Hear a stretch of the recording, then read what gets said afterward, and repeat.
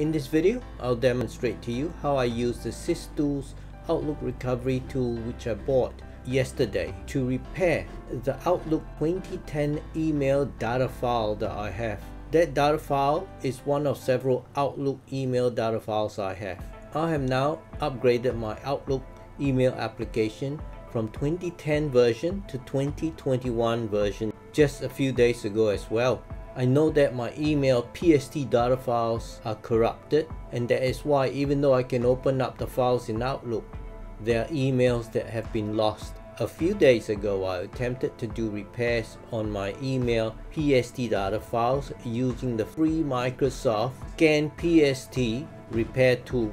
However, looking at the log files after the attempted repairs were done, it looks like there are many items that Microsoft Scan PST is not able to repair. It only seems to do simple repairs and so I've had to search for a good tool and I think the SysTool product is a good tool. I've had to buy SysTools Outlook Recovery tool for US $49 for a personal license. Before I purchased this license, I downloaded a free demonstration version. Then I did a test run and it appears to be able to open up the Outlook PST file and recover items. So join me in this video as I demonstrate to you how the SysTool Outlook Recovery tool works. A week ago I downloaded and used this free Microsoft Outlook repair tool called Scan PST. It failed to repair a lot of items in my PST file. This is a log file produced by the Scan PST tool after it finished attempting to repair my Outlook PST data file. You can see there are many line items where it detects the file has CS3 of a certain quantity whereas it should have a different quantity. So that's not good. You can also see here it says it could not find BBT entry in the RBT whatever that means but there's a lot of it and here it says it's failed to add a row to the FLT and so there are many rows that it has failed at so I do not have confidence that it has carried out a full proper repair of my Outlook PST data file. So I purchased the SysTool Outlook Recovery tool. When the application starts, it needs System Admin Rights. So this is the SysTools Outlook Recovery screen, version 8.2, the full version. When it starts up, it does a prerequisite check for four components. says that my Outlook profile is not configured, but that's not true. I'll ignore it because in my test of it, the application still works. Go to File, click on Add. This is to add the PST file that I want to be repaired. There are two ways of doing it. I can either select a file if I know where it is, or I can search for the file. When I click on select, this top half of the window applies. When I click on search, the bottom half of the window applies and you will search in the drives A, C, D, E, F. It does not appear to search on network drives. So this means that you will have to move your file from a network drive to a local drive for it to find it. But I know where the file is so I will use select and then click on the browse and I have set up a local drive where the test Outlook data file is located. This is the file called the Outlook 2010 Mail Archive 3 October 2015-test data file to be repaired. It is of size 1 gigabyte. Select this file, click open and the file will be registered in here. My Outlook data file does not have encryption but if it has encryption then click on this to remove the encryption and you'll be asked to provide the encryption keys. In my case, there is none. There are two types of encryption, SMIME and OpenPGP. I'll click cancel are two types of scan mode you can choose, a quick or advanced. When you have the quick, it says use this option if the file has minimum corruption. I mean, how do you tell whether it has minimum or not? I might as well choose maximum and assume the file is highly corrupted and then get it to fix it. And here is the location where you can store the repaired data file. Click on the browse. I will go to the location where I want the output to be stored. I've selected the location.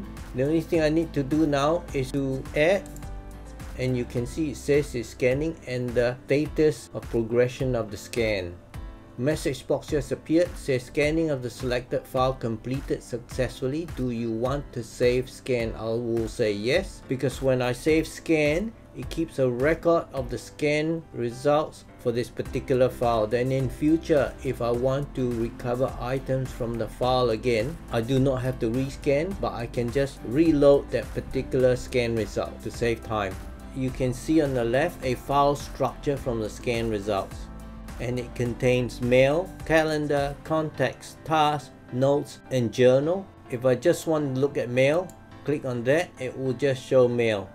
If I click on calendar, it will just show calendar. Contacts, just contacts, task, notes, journal, and if I click on folder list, it shows everything.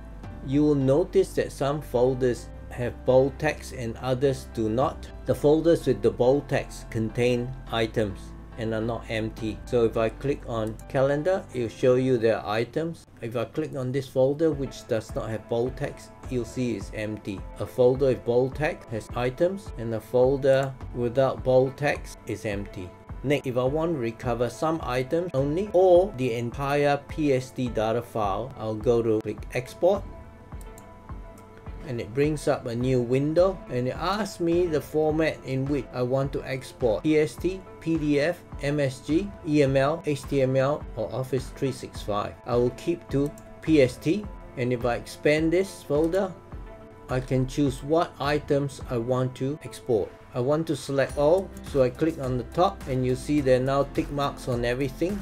I can untick one thing or the other but I'll just select everything I can choose advanced settings where I can choose to split the PST file according to size. I can choose to filter by date or I can choose to filter by categories, mail, contacts, calendars, journals, notes and tasks. So I will save that. I will put a tick to maintain folder hierarchy. I will allow export of empty folders. I will use Outlook and I will ignore system folders. So the system folders are here on top and the user folders are this. So I just want all the user folders. I'll browse to select the location where I want the repaired PST file to be located. In this case, I want it stored in this folder. Click OK. It registered the folder location here. I'm ready to click export. Now this will take time. Let's start you can see it's working through the calendar folder. The item count is increasing and it shows you the destination path that the repaired Outlook PST file is being stored. Okay the export process has completed successfully as you can see. So that says the location of the file that has been repaired that's the file that has been repaired. So close the export window. So in the folder that's the file that has been repaired by SysTools well that's it from me. I hope you can see from this video it's very simple to use the SysTools to recover and repair my Outlook PST data file and if you find that the free Microsoft Scan PST tool does not completely repair your Outlook PST data file, then perhaps you want to look at SysTools and see if that will do the job for you. I do hope you enjoyed this video and found it useful. Do hit the like button and subscribe to my channel for more and to help the channel grow. Thank you so much.